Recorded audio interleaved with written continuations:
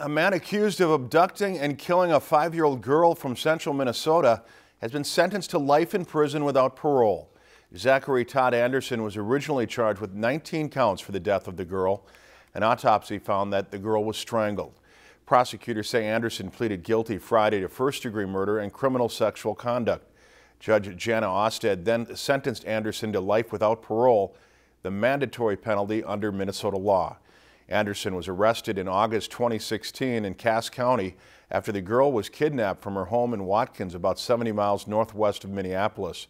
Her body was found submerged and covered with debris near a cabin owned by Anderson's family near Motley. Anderson, who's from Coon Rapids, was considered a friend of the girl's father. If you enjoyed this segment of Lakeland News, please consider making a tax-deductible contribution to Lakeland PBS.